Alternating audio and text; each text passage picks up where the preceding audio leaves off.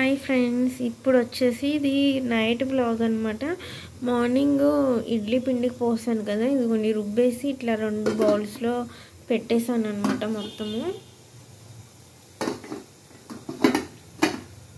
ఇంకా అలాగే ఇప్పుడు నైట్ డిన్నర్ వచ్చేసి ఇడ్లీనే వేస్తున్నాను అంటే టిఫిన్ ఇడ్లీ వేస్తున్నాను అనమాట ఇంకా ఇప్పుడు ఇడ్లీ ఆల్రెడీ వాటర్ పోసేసి పెట్టి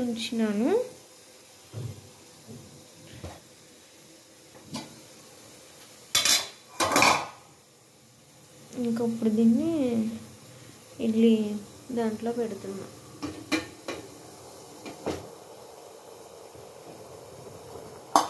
ఇలా ఒక ఐదు నిమిషాలు సిమ్లో పెట్టి కుక్ చేయాలన్నమాట. కుక్ చేస్తే మనకి ఇడ్లీ అనేది సాఫ్ట్గా వస్తాయి.